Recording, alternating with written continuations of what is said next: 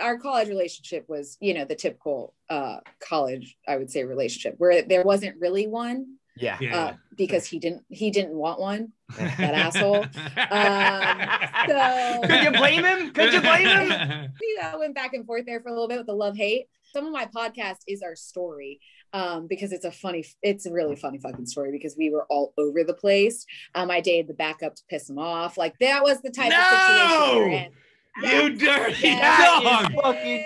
Listen, he deserved it. Okay, I- he totally deserved it. that backup is crazy. What is Yeah. he doing? I, you know what? He was like the bad boy. He like, you know, Matthew's like this genuine soul, and then it was the bad boy. So he Yeah, but he's the liked it. backup. Like, I, if Uh, I'm Matthew, I'm sending the offensive line after him. Like, get this guy off the f***ing team. Get him out I of mean, here. I don't, I don't think he saw the field after that. Yeah. Um, but in the end, I always tell him we ended up together, and we had to go through all of it. So the backup had to happen. yeah. I mean,